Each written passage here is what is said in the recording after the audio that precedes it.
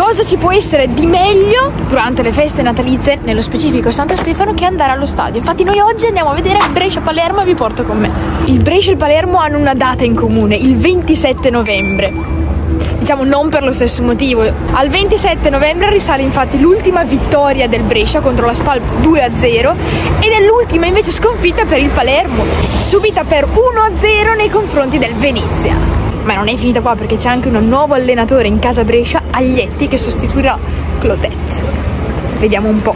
Assenze anche super importanti nel reparto difensivo perché manca Karacic, manca Adorni, manca Cistana, però è ritornato dopo tante partite Capitan Bisoli.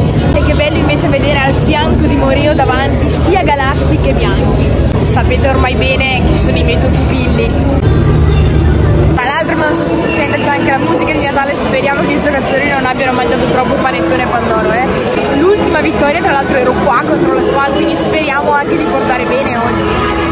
Tra l'altro il Brescia ritrova Corini, vecchio allenatore, vecchia conoscenza ovviamente del Brescia, e come mi ricordo mio papà, Matteo, madonna, un giocatore inguardabile, inguardabile.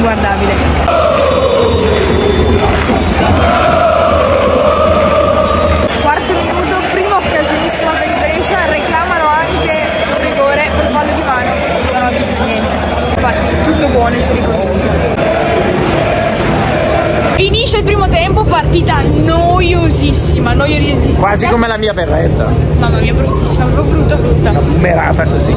Poi bianca non c'entra niente, però vabbè. Cosa mi dici sulla partita? Noiosissima. Ti aspettavi questo Palermo? Io assolutamente no. No, no. no. Aspettavo di più dal Palermo, il Brescia ha fatto un po' di più delle ultime volte, ma ci voleva poco, non aveva mai tirato in porta le due partite, almeno qualche giro l'ha fatto. Però modestia francescana, modestia francescana. Arbitro, arbitro secondo Arbitro me scandaloso, non ha, avuto, non ha avuto da fare grandissime cavolate in questo momento perché appunto la partita noiosissima, non stanno giocando per niente le Ma squadre. supponente, lo vedi proprio che arrogante che è qua, come per dire, "Vabbè, volevo stare a casa a mangiarmi la Eh no, dai, ripiena. dai, e racconta, raccontalo a tutti, raccontalo a tutti quello che hai detto prima. No, dice L'arbitro. in giro, Marinelli dice in giro, l'ha detto a un mio amico che poi me l'ha detto, che lui si sente arbitro di Serie A, hai capito? Pensa a te, pensa a te, questo qua è arbitro di è serie. A. qua ad arbitrare da, da presupposetto. Ah, vedi. Speriamo in un secondo tempo migliore. Ciao.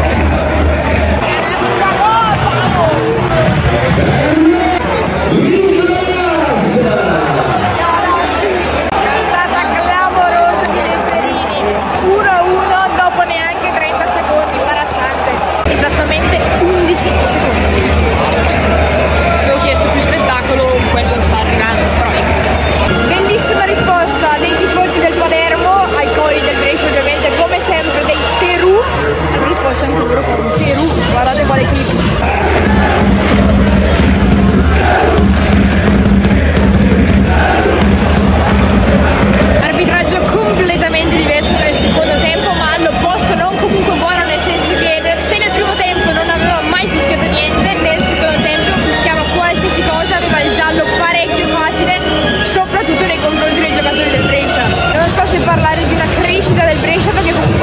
rispetto al solito giocare molto di più con la palla a terra buono però allo stesso tempo ha giocato dopo l'1-1 completamente sempre come se fosse sopra 2-0 cioè, tornava indietro. Nel secondo tempo, dopo l'1-1, praticamente solo Palermo che ha provato tutti i modi, anche con tiri da fuori, dal limite, calci d'angolo, ripartenze. Ha lasciato fare qualsiasi cosa. Tra l'altro su TikTok avevo detto più volte che sarei potuta andare durante il corso della stagione al Barbera il Oggi l'ho visto, ma il Barbera probabilmente non, è, non a inizio gennaio, non a febbraio, magari quando sarà un po' più caldo, sicuramente andrò a vedere. Un saluto anche agli amici di Bari che stasera ci sarà Bari Genoa e avevo detto qualche settimana fa che probabilmente sarei scesa.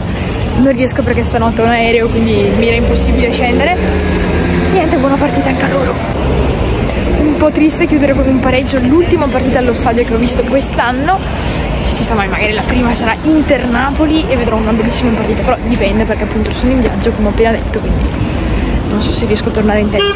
Tra l'altro, ultima piccola chicca, l'ex ormai allenatore Clodette, ho scoperto che aveva allenato e aveva fatto esordire in Championship Bellingham quando erano al Birmingham. Cos'è? Ci aveva già visto lungo, eh?